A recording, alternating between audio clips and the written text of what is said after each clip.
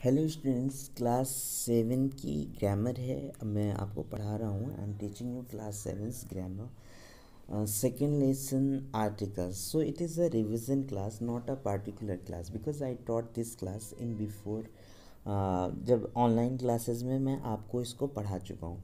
बच्चे, देखिए, सबसे पहले हमें ये समझना है। तो ये समझ लीजिए कि आपको कुछ आने के लिए भी है और एक रिविज़न के लिए भी है। और इसके बाद जो है सारी चीज़ें जो है एक दो दिन में आपके पास सही से आ जाएँगी।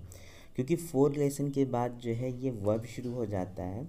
तो वर्ब में दिक्कत ये है बेटा कि I can not teach you verb in offline condition of in online condition and I will have to take this class in your classroom before you आपके सामने अगर हम समझाएँगे, तभी आपको ये जो है टेंसेस का लेसन समझ में आ जाएगा।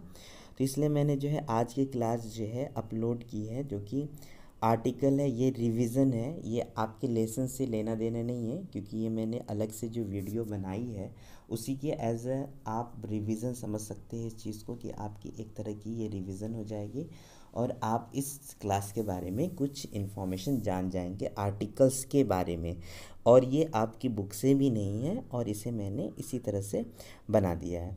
और आज जो है मैं शाम में I will make your syllabus in the evening कि किस तरह से हम आपको पढ़ाएँ कि वो चैप्टर्स वो सिर्फ़ वो चैप्टर हट जाए क्योंकि वो तीन से चार है। जैसे आपका present indefinite present past indefinite और फ्यूचर इंडिफिनिट पढ़ेंगे, फिर कंटिन्यूस है, फिर परफेक्ट वाला लेसन है। तो अगर हम, आपको ऐसे ही पढ़ा दिए तो ये लेसन जो है आपके बिल्कुल भी समझ में आने वाला नहीं है।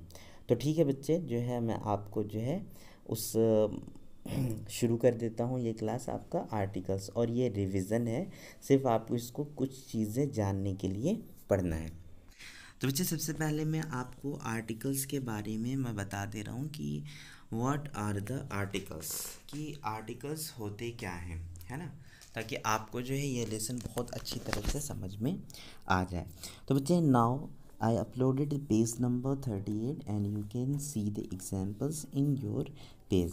तो यहाँ पर आप अपने पेजेस भी देख सकते हैं। You can open your grammar text books to अपनी जो है ग्रामर टेक्स्ट बुक को भी ओपन कर लीजिए। So you are advise to open page number thirty eight of your grammar text book and the title of the lesson is articles lesson number five chapter number five तो बच्चे articles क्या होते हैं? सबसे पहले हमें इसे समझना है।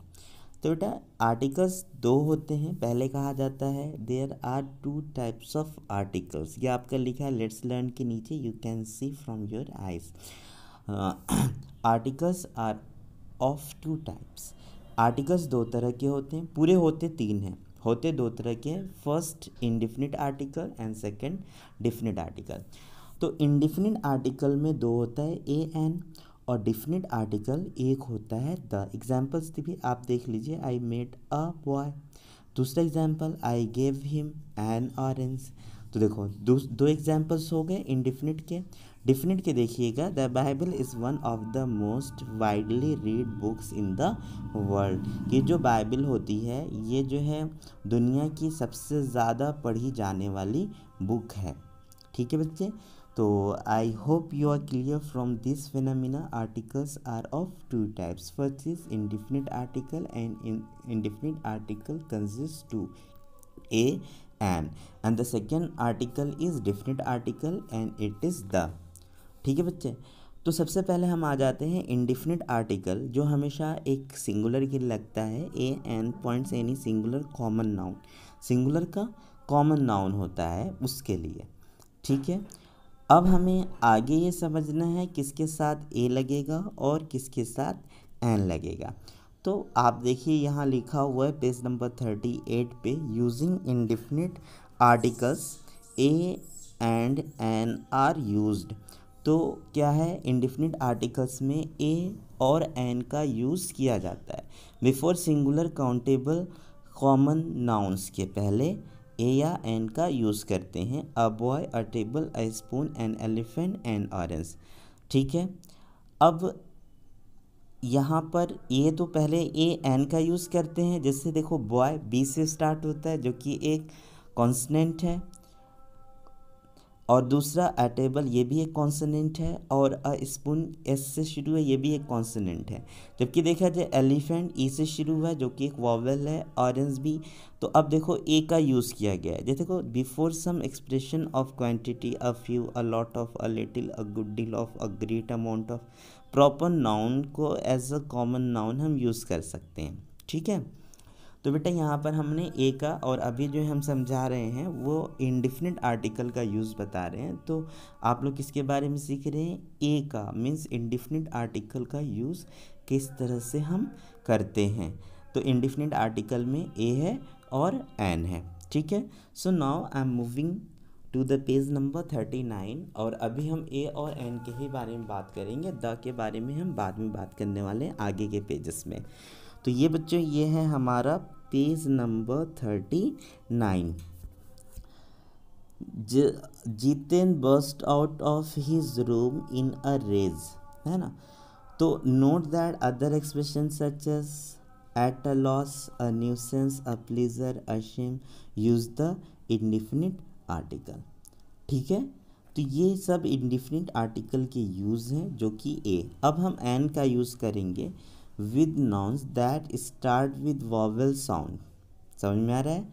जो कॉन्सनेंट के साथ था, उसके साथ तो ए हम यूज़ करते हैं, लेकिन जो वावल के साउंड के साथ शुरू होता है word such as hour honourable means as hour and honourable आप देखो यहाँ पे hour H O U letter तो एच का है, लेकिन साउंड तो बच्चे यहाँ पर जान लो, किसी भी चीज़ में साउंड मैटर करता है।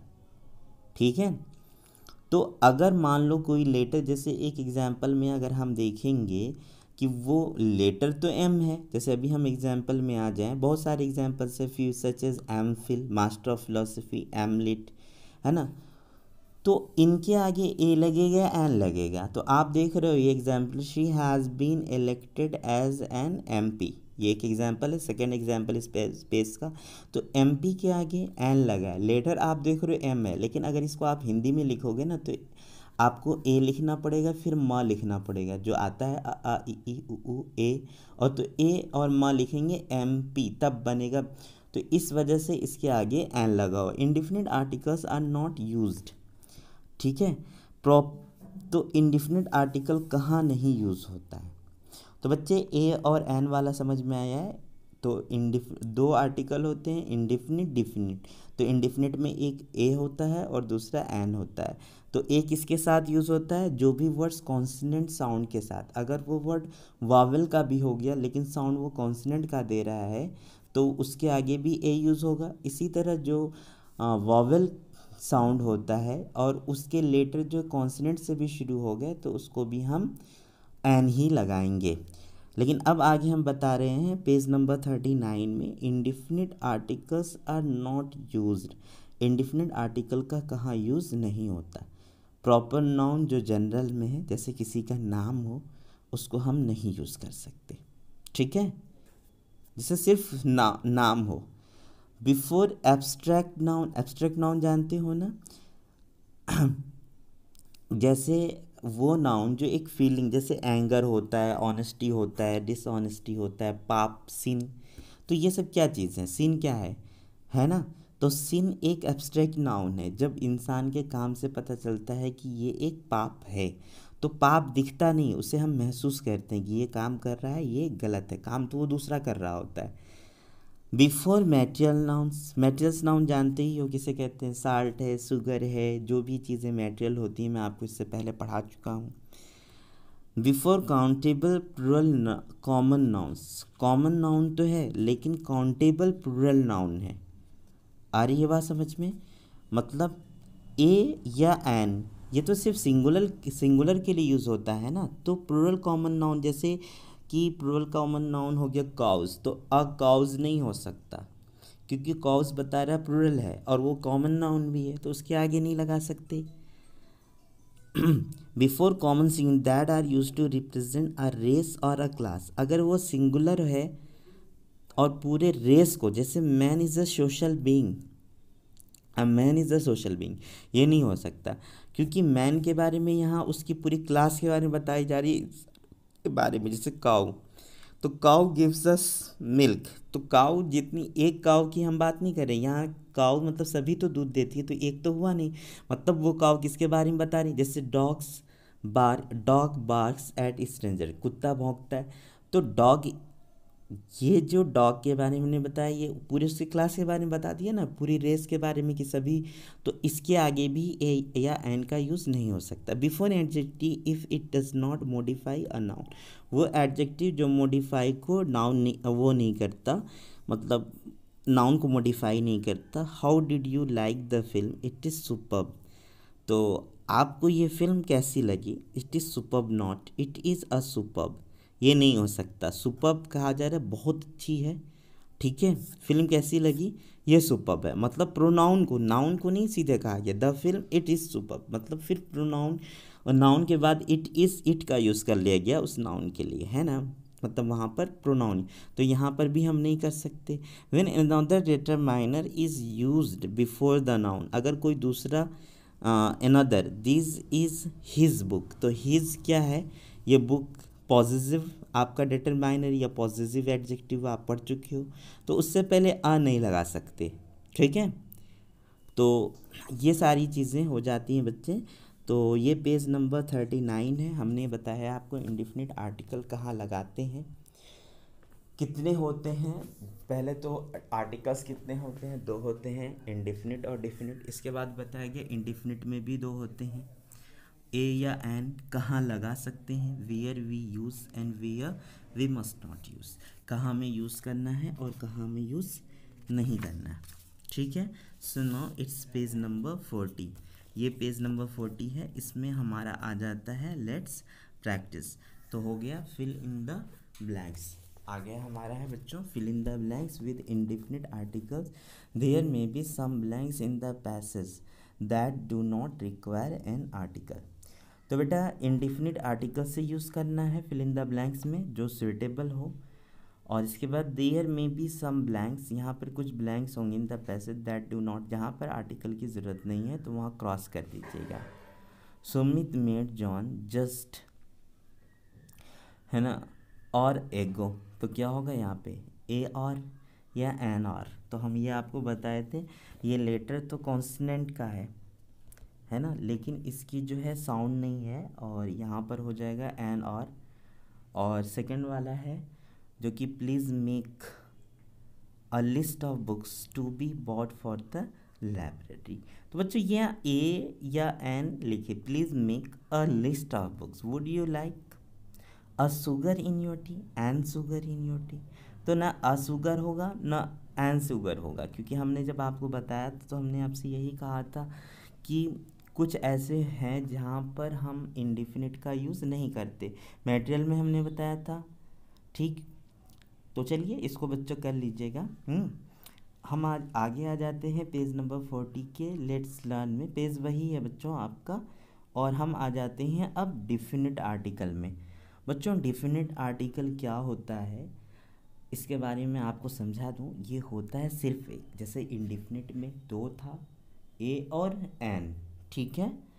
और इस तरह से डिफिनिट आर्टिकल में सिर्फ़ एक होता है और वो है द तो द जो होता है definite article the refers to a specific और पर्टिकुलर पर्सन और थिंग मतलब स्पेसिफिक मतलब जिसके बारे में एक इंडिकेशन की जा चुकी है, जिसको पॉइंट किया जा चुका है, उसके लिए हम इसको यूज़ करते हैं।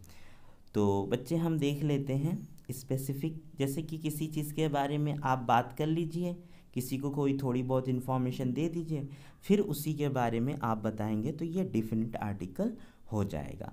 मतलब वेल well नोन भी होता है, या हम किसी को, है ना, उस चीज़ की बात करते हुए बताते कि हम इसी पार्टिकुलर चीज़ की बात कर रहे हैं तो वहाँ पर यूज़ करते हैं। The definite article can be used for both definite article जो द होता है, वो दोनों के लिए हम यूज़ करते हैं। जैसे आप देखे थे कि इनडिफिनिट में सिर्फ़ सिंगुलर के लिए हमने यूज़ किया था प्लूरल के लिए हम ए या एन का यूज़ नहीं कर सकते। क्योंकि ए या एन जो यूज़ होता है, वो सिर्फ़ एक के लिए होता है।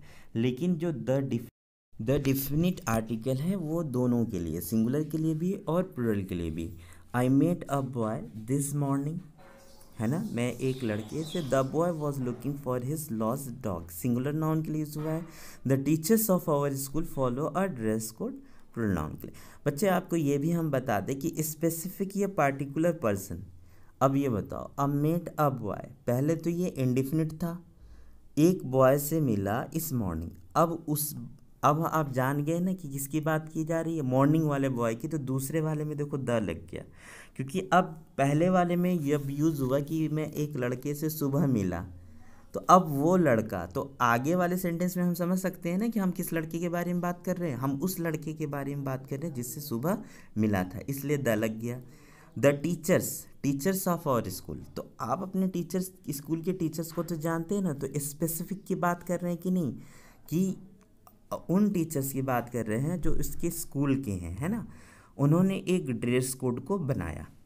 काउंटेबल एंड अनकाउंटेबल तो सिंगुलर प्लूरल के लिए तो होता ही है काउंटेबल एंड अनकाउंटेबल नाउन्स के लिए भी है।